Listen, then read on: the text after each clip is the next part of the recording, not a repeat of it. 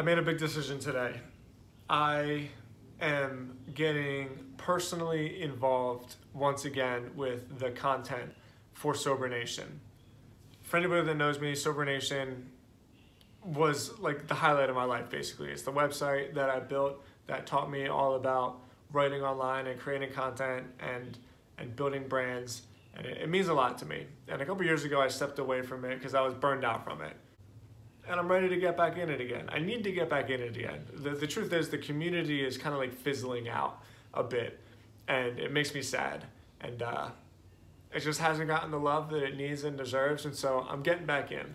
But what I'm going to talk about, which is why this is important, is because it can feel very daunting. Like, Sober Nation is a big, big website and to think of just starting back in and you know fixing some of the problems that just inevitably come up when things don't get uh, maintained is is daunting and in the past what I would have done is tried to fix the whole thing all at once. I would have just taken the whole project on. I'd be like, come on, we can do it. Let's go, let's go. Like, we got to fix this thing. Let's move. And over the last couple years, I have learned through my personal brand, really, through timstodz.com, that the way to advance is to just make little bits of progress every single day. So about two years ago, I decided for Tim Stodz, I was like, you know what? I'm just going to send an email every Friday. I'm just going to write a newsletter and I'm going to send it every Friday. And over time, the format of the newsletter has improved. My subscribers have gone way, way up.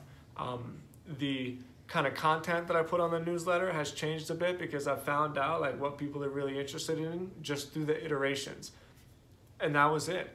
You know, that one little habit also started to writing one article a week. It also brought me my podcast. It also enabled me to, you know, create some automations on the email list so that I could sell services to digital commerce. And now it's like really successful and it's making some money and it's really cool. But I never would have been able to do that if I went into the thing saying like, okay, I want to build a personal brand. I want to write blogs every week. I want to send a newsletter to thousands of subscribers. I want to have a podcast. I want to have a business behind it. Bam, like let's go. Let's get all this all at once. So with Sober Nation, I am not coming in here and just trying to fix the website.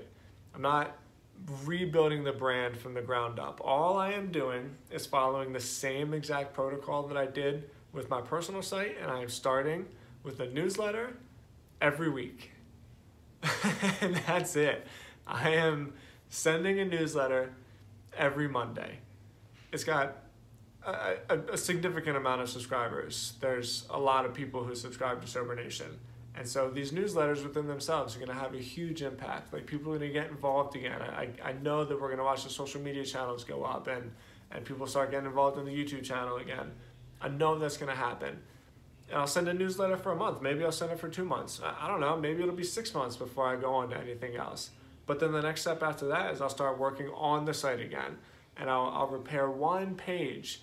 I'll improve one page of content a week.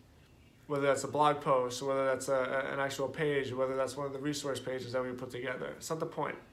The point I'm trying to make here is that anytime I've ever gone into a big project, and tried to fix the whole thing all at once. And I don't, I don't necessarily mean within like an amount of time.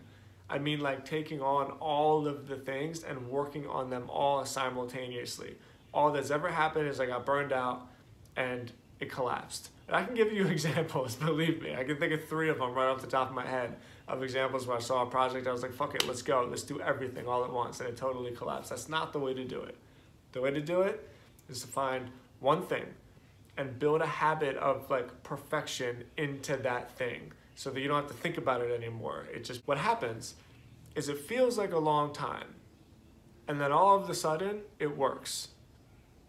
So it trudges along, it trudges along, and nothing's working, and then all of a sudden everything's working.